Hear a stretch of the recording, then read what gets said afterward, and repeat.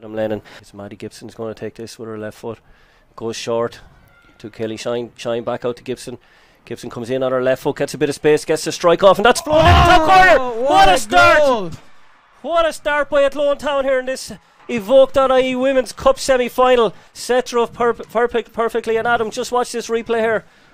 Ah, it's a brilliant. You know, something they've obviously worked on during the week.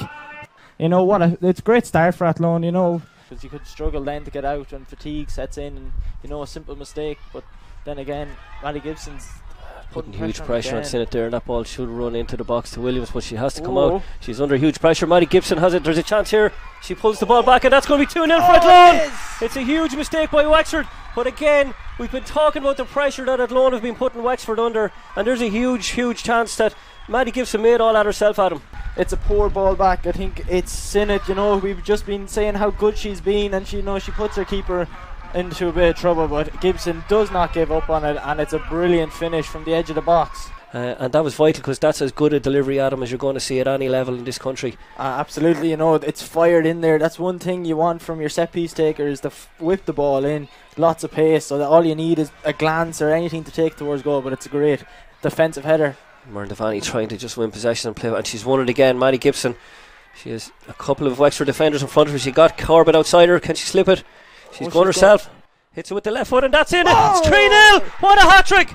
It's 3 0 Oh. Athlone Town 3, Wexford nil. That's an unbelievable goal on the counter, straight from the Wexford corner. We're talking about the quality of, uh, you know, Rossiter's uh, corner that she took, but look at that for a finish. Maddie Gibson, that's as good.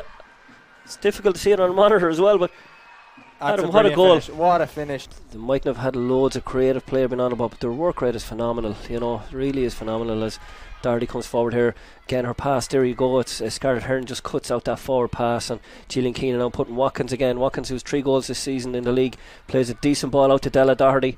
Doherty gets it across the box, and there's a big chance here. Here's a chance for Wexford, and it hits Oh, the it's a crossbar. Again, I think it's Murphy with the strike, and it's gone out for a corner. That's uh, you don't get much closer without No. scoring.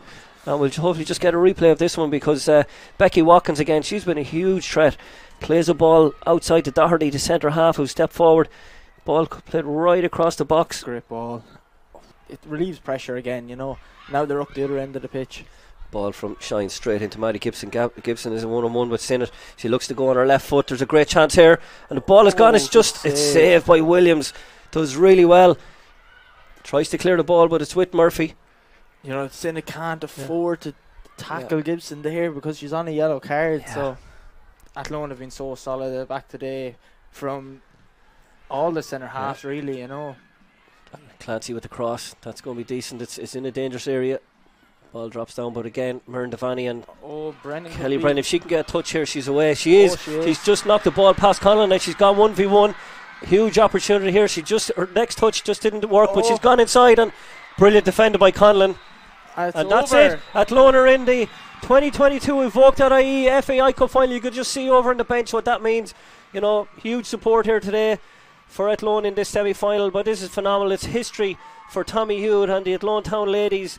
It's a massive, massive thing. Maddie Gibson with the hat trick, but an all round super performance from Athlone. They really, really didn't give Wexford much of a chance today.